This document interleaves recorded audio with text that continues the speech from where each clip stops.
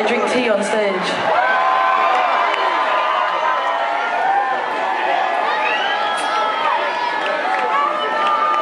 I'm living the life, the dream.